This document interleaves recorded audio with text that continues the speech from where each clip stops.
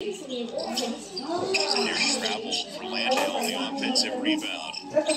They will reset with Daniels. Pocket pass.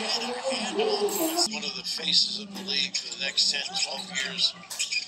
Just an amazing talent. Game posted up. He draft two years ago. Nice back cut.